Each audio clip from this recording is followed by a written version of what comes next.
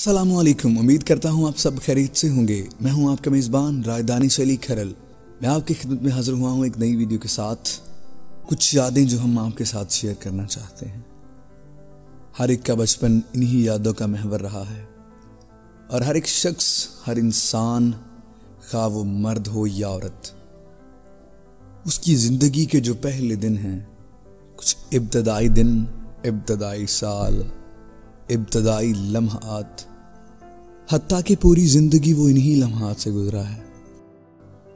एक पेड़ जिसने कभी मुझे धूप लगने न दी, अपने आंचल में छुपा के रखा नज़र किसी की लगने न दी। याद आते हैं बचपन के दिन जब तू मुझे खिलाती थी, हर बार रोने पे तू ही मुझे हंसाती थी।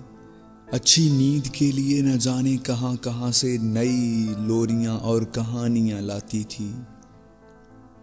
रो पड़ता है ये दिल याद करके वो दिन, जब हाथों से अपने खाना खिलाती थी। तेरी उंगली पकड़ के मैंने चलना सीखा, तेरी ही आँखों से ये संसार मैंने देखा। खुदा खुद ना सका, इसलिए तुझे मेरे लिए भेज दिया। किस गुमा में हूँ मैं आजकल?